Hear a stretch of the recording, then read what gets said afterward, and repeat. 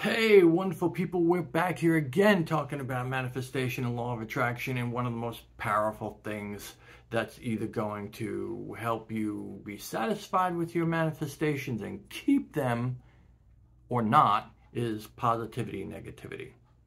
So what do I mean by positivity and negativity? You can be a good person and still be negative because you're going to look for the negative. If you're the kind of person that looks for flaws in people, if you're the kind of person that looks for flaws in situations, if you're the kind of person that looks for flaws in society, because that's the first thing you'll see when you um, become a conscious adult. You'll start to notice all the flaws and all the lies you've been told while you were a child.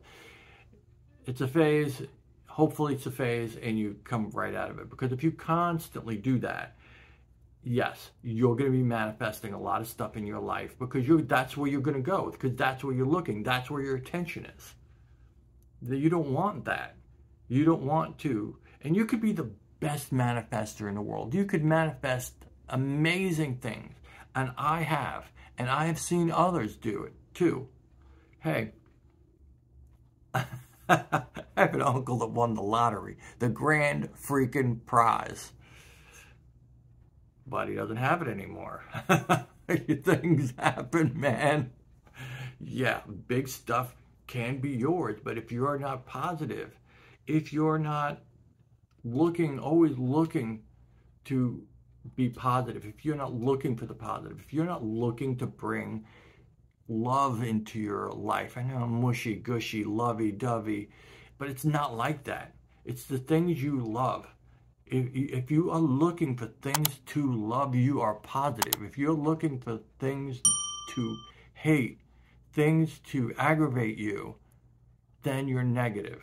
Now, the philosophy is, and this is where it gets stuck a lot, that well, if I look for the negative things, then I can erase them. Then I can I can tackle them. I can cover them up. I can you know, a lot of women, they, they look at their faces and they look for all the negatives. That's the programming, and that's actually what works because if you look for all the negatives, you can cover them all up.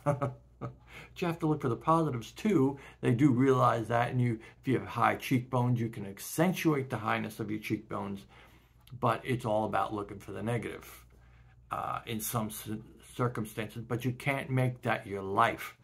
You can't always make you can't make life a positive life out of negative stuff, right? It's not gonna work. Believe me, I've tried it. Okay. yeah, you can't make a life out of negative stuff. And when it comes to the law of attraction, it is a it is a killer. It is a killer because you can manifest the best stuff in your life, the most amazing stuff in your life, and then you can nix it. You can cut it off. You can you can manifest monstrous, monstrous sums of money that you then lose. Great, your dreams can come true and you can kill them with negativity. So how does this look? Well, it looks like this um, you you do what you have to do to manifest something.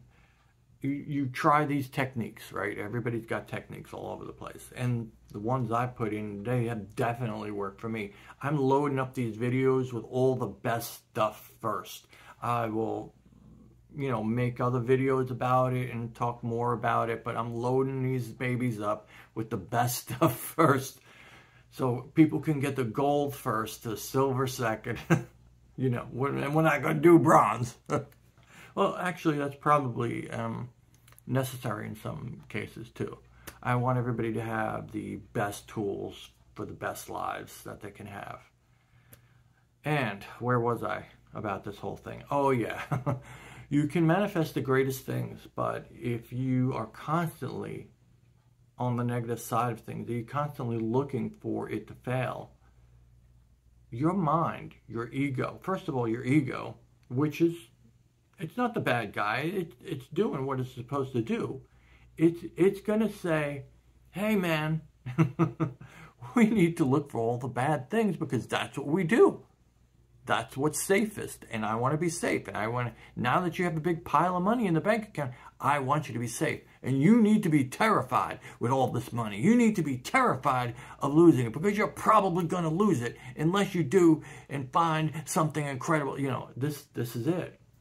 This is it. And you're going to manifest from that. Not only are you going to manifest from that, but your brain is going to start looking for proof for that nonsense.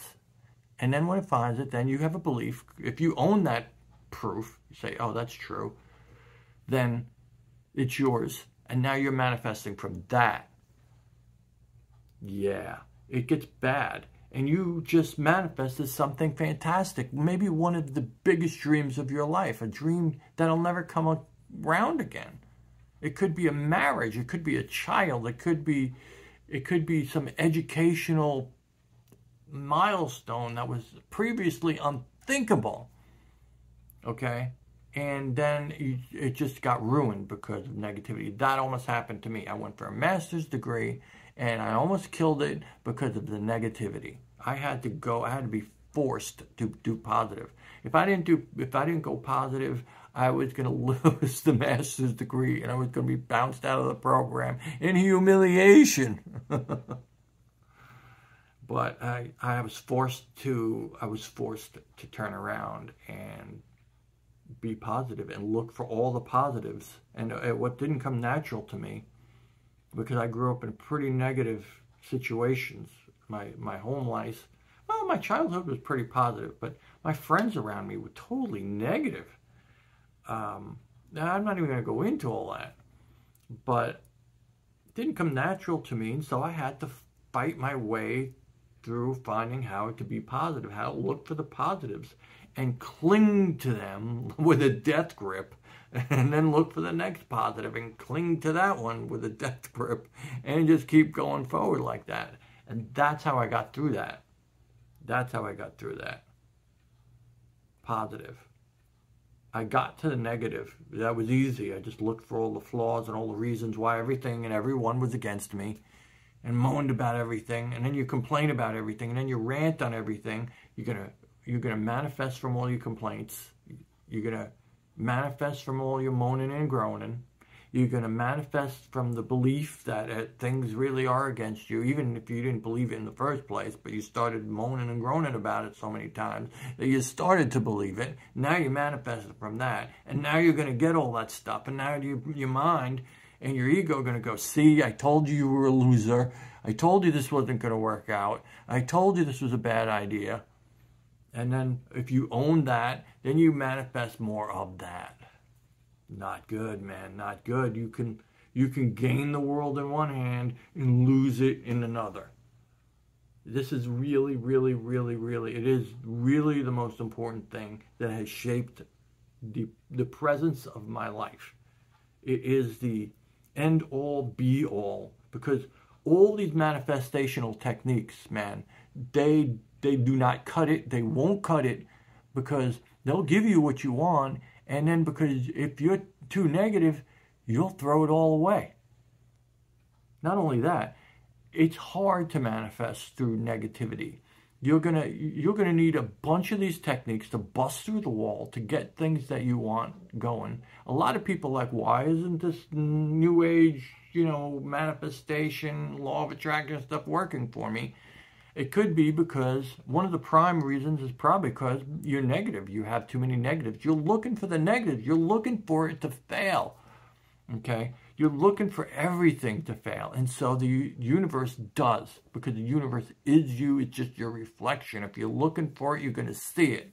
It's like looking in the mirror. If you're looking in the mirror for yourself, you're going to see, oh, you're going to see you. Don't yell at the reflection. It's not wrong. You know, nobody looks into the mirror and sees something they don't like and says, that's not true. It must be the mirror. mirror. It's the it's the reflection's fault. The reflection is 40 pounds overweight. I'm not. Come on now. Nobody does that, right? Because it's a simple situation. But we do that with the universe all the time. It's the same situation. Positive brings more positive. Negative brings more negative. It's a simple It's a, the simplest equation you can have, and yet it eluded me for so, so long in so many different ways. I mean, I, I went positive, and then I went negative, and then I went positive, and then I went negative. Don't do that. Don't go for your dreams on positive. Always look for the positive. Always look for it. It's always there. It's always out there somewhere. Um, I'm uh, debating on whether I should, it's over 10 minutes now. Should I just continue and tell you how? One day later. Here we go.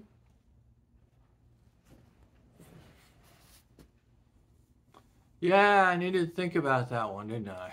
Yeah, it's just a lot. It's a lot in there. A lot of very valuable stuff. It needs to be its own video. It needs to, it, it, I can't cut it short and just throw it out there and be done with it.